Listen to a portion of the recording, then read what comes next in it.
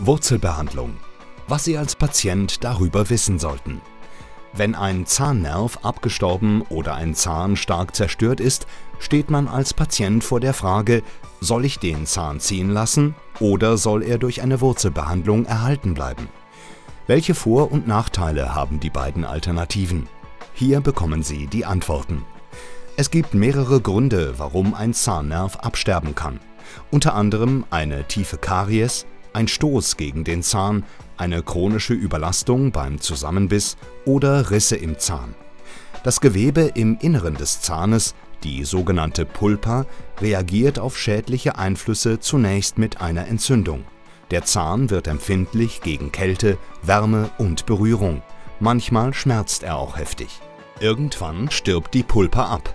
Das kann mit starken Schmerzen einhergehen oder völlig symptomlos verlaufen. Oft erkennt man abgestorbene Zähne daran, dass sie auffällig dunkel werden.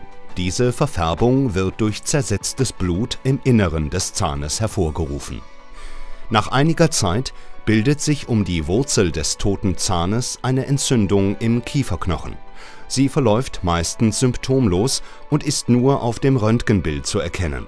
Diese Entzündung kann die Gesundheit gefährden Schädliche Bakterien und deren Gifte werden über die Blutbahn im gesamten Körper verteilt.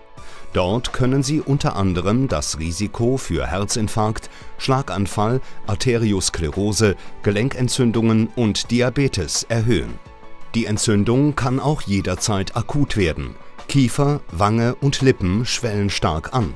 Der Patient bekommt Fieber und teilweise heftige Schmerzen. Spätestens jetzt muss er sich entscheiden, ob der Zahn gezogen oder mit einer Wurzelbehandlung erhalten werden soll. Wird der Zahn entfernt, muss er durch Zahnersatz oder ein Implantat ersetzt werden. Das verursacht teilweise hohe Kosten und die Behandlung kann sich über mehrere Monate hinziehen.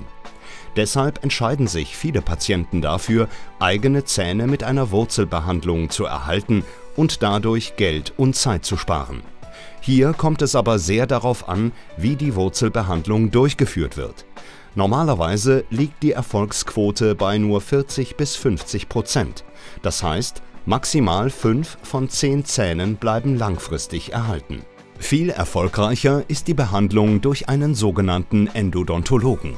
Das ist ein spezialisierter Zahnarzt mit entsprechender Fortbildung, Erfahrung und Praxisausstattung für Wurzelbehandlungen. Deshalb liegt die Erfolgsquote beim Endodontologen bei über 90 Prozent. Wenn Sie mehr über die moderne Wurzelbehandlung wissen wollen, auf unserer Website können Sie sich einen kostenlosen Ratgeber für Patienten herunterladen. Unsere Praxis ist spezialisiert auf Wurzelbehandlungen. Wir führen sie nach neuesten wissenschaftlichen Erkenntnissen mit modernsten Methoden und hochwertigen Materialien durch. Möchten Sie Ihre eigenen Zähne erhalten und sich Implantate und Zahnersatz ersparen? Dann vereinbaren Sie jetzt Ihren persönlichen Beratungstermin.